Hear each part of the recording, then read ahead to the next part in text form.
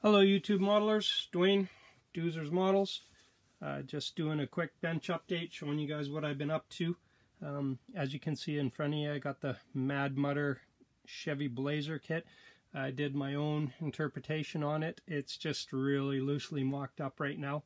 So I'll show you where we're at on it. Uh, we'll move the box out of the way.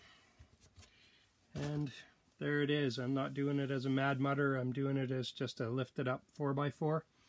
Um, as you can see, I closed in the hood, so I took some uh, styrene bits and, and closed it in and sealed up the hood so it doesn't have the big ugly scoop on it anymore.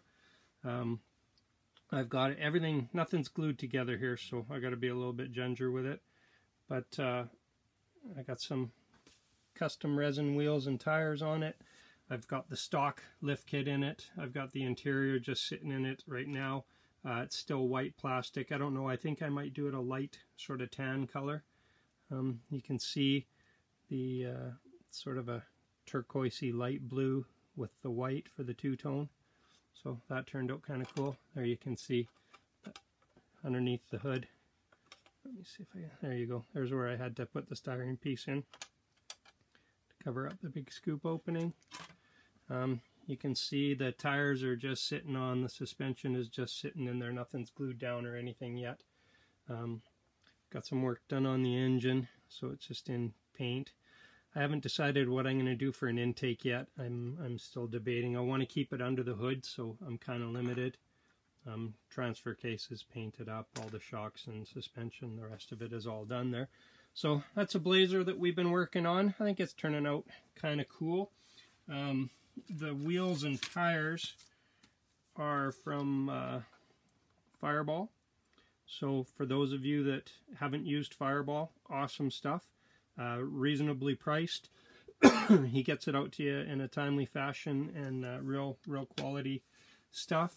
Um, the paint is scale finishes. Um, I'll show all that stuff in the final when I get it all buttoned up. But for now, it's just uh, loosely sitting together, like nothing's glued. It's all just roughed in. And so also I've been working on the, um, where's the box top on that one?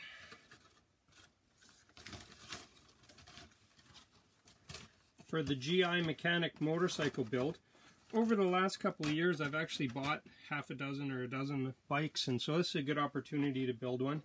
So I can't quite get it in there, but it's the Z750 FX by Aoshima. Uh, it wasn't a great fitting kit. It's taken quite a bit of work, but with the work, it's actually coming together quite good. Um, so there's the gas tank. I went with a non-metallic blue, gold and white decals. You can barely see where the seam was there, so I'm pretty happy with the outcome of that. Um, the side plates have little decals on the top and little Z750 decals on the sides. The little back piece behind the fender, um, the stripes went on not too bad. Took a little bit of fiddliness on them, but I, I think they went on there pretty good.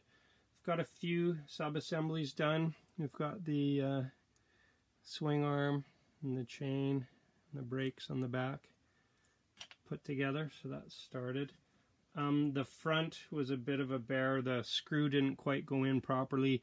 It started spreading it apart and everything broke apart, so it's all gnarled up there. I'm going to have to fix it with some paint, but uh, I took it apart and reworked it and got it together. So it's got the chrome fender, brakes on both sides. So that's coming along. We'll be going on from that. And the engine is started. So I don't know if you can see it in there, but it's got the little exhaust ports.